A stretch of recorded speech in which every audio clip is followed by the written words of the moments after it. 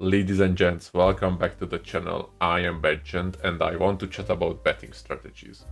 You know, everyone wants the secret sauce, the golden ticket to beating the house, but can these methods really work and make you the high roller you dream to be?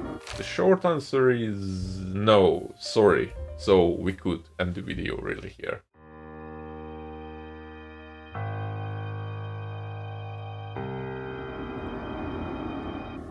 The reason why they don't work is because they assume that you have an infinite amount of money and the casino would allow you to bet as high as you want. This is not true in the reality. If you hit a long losing streak, then you are toast, my friend. Poof.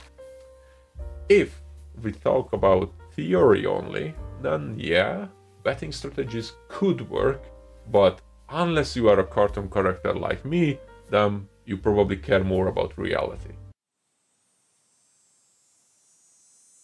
Anyway, it is still interesting to know about the popular strategies.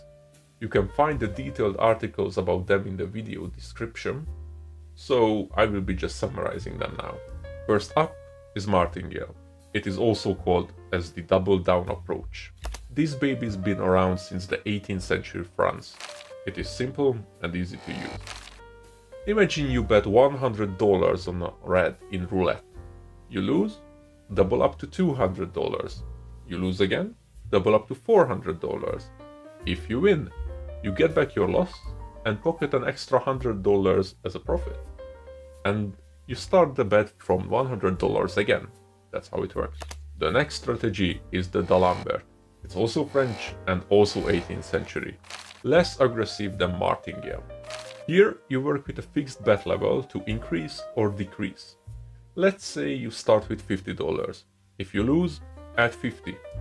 Lose again, add 50 again. If you win, then you subtract 50. It's less volatile than martingale, so you won't crash and burn as quickly. Last but not least, the Fibonacci strategy.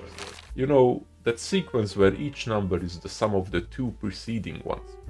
Like with D'Alembert, you define a bet unit at the beginning, but then you multiply this unit with one of the numbers from the sequence. If you win, move two steps back in the sequence. If you lose, move one step forward. Alright, that was my short take on betting strategies. If you found this video enlightening, then give it a thumbs up and don't forget to subscribe for more. May Lady Luck be in your favor until the next time. Bye.